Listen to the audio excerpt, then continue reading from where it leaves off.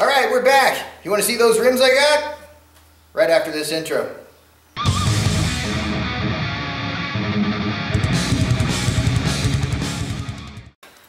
So we got some rims I'm really happy about. They're iconic. They're a uh, little narrower than I wanted, but the back spacing makes up for it. I'll explain that when we get to it. And uh, they're in exceptionally good condition considering their age. So uh, without further ado, here's what we got.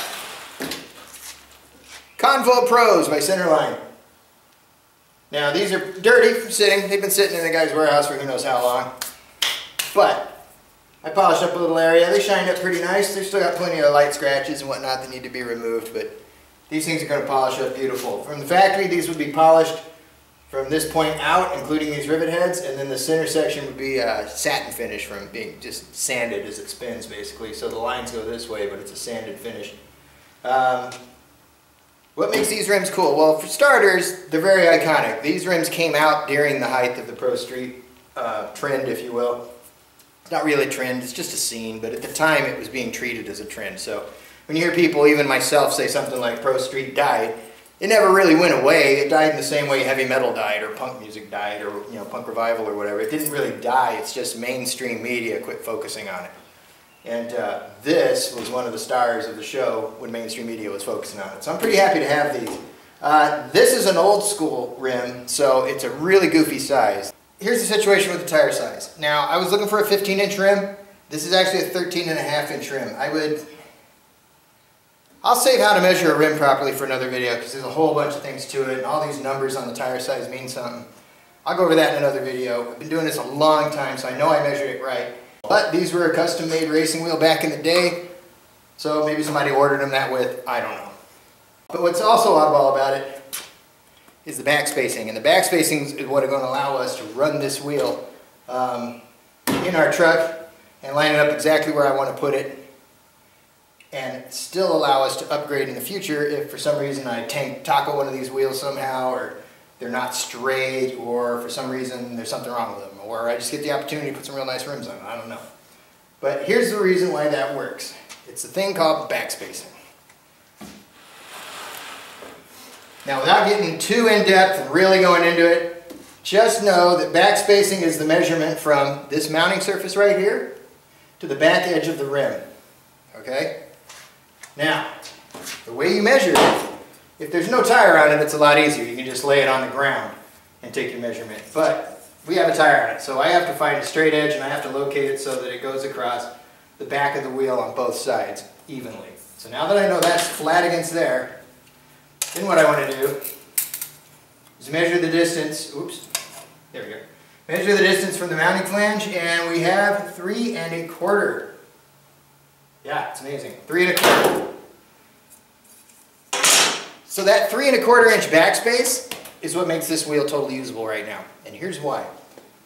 The wheels I would replace this with if I had to would be a 15 inch wide rim but the 15 inch wide rims come with a four and a half inch back spacing. So what that means is, this is a three and a quarter. So a four and a half is an inch and a quarter bigger.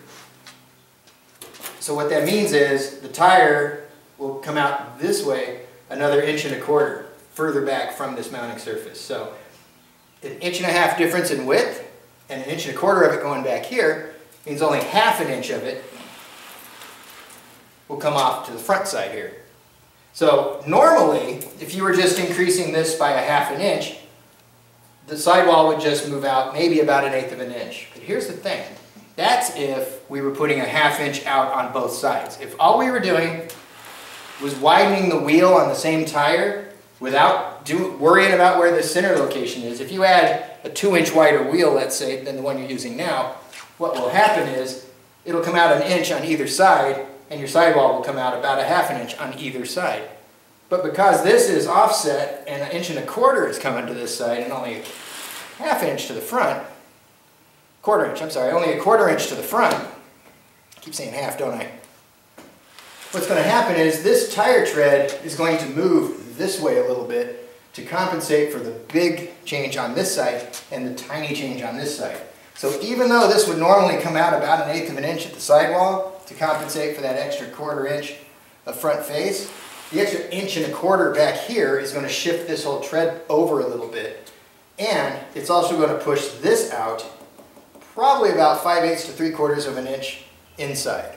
So all I have to do to be able to update to 15 inch wheels later is, as long as I leave that extra space in here between my frame rail and the sidewall, to account for this thing getting wider and when we do a rim switch, this front area is going to stay in the same spot basically, or even pull in a little bit and give me a little more clearance to the outside. So that works perfect. Now, I could have done that with other sizes, but I wouldn't have the depth, and that's why this is so cool. These wheels actually give me the depth I'm looking for here, um, which is important because this depth from here to out here is again, it's only a quarter inch different than the 15 inch rim.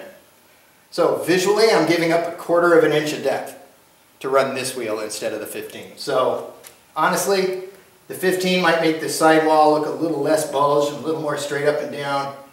It might look a little better, but it's not worth the extra expense of buying brand new 15 inch wide rims just because these are, you know, they'll look a quarter inch deeper. It's not worth it for that quarter inch. So yeah, that's, uh, we'll call it there, I suppose. So yeah, I'm looking forward to it. She'll shine up. Very happy to have these wheels. Uh, what we got to do now is we got to get these things under the truck so we can see what it looks like. So uh, I'm going to cut it there because it's a little long. I don't want to go past the 10 minute mark really uh, if I don't have to. So in the next video, we'll cut out the rear wheel well area so I can get one of these tires stuck up in there and then we'll see what this thing looks like mocked up with the tire under it. So uh, come on back for the next episode if you want to see that. That's going to be even better. It's going to be far more rewarding to see this under the truck. And then uh, we have some other stuff going on. We picked up an important engine part and we picked up uh, a new option for our rear differential. I probably will not be using the differential you saw me pick up in that other video.